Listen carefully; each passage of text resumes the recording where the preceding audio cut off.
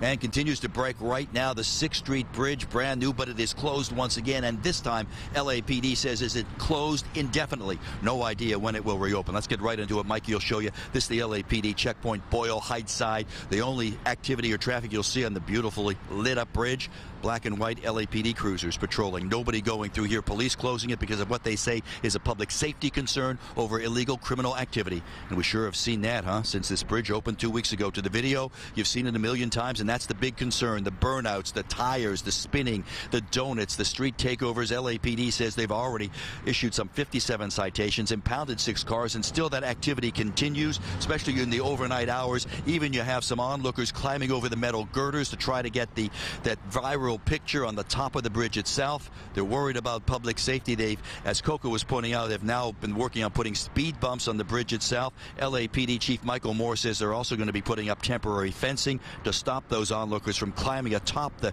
the arches here on the bridge to get that picture that will go viral. Also, they're going to be putting a, a median down the middle. But right now, because of growing concern and the concern of that someone's going to get hurt here on the bridge or maybe even worse yet, fall to their death over the side of the bridge, that is what the city's been concerned concerned about. LAPD has had the crackdown, but they've just shut it down as we come back out live. Shut down, and what makes this over the last week or so that we've seen, they've usually had these shutdowns and they reopen it in the morning. But LAPD right now saying that is not the case. The new 6th Street Bridge, multi-million dollar beautiful span, it is now closed.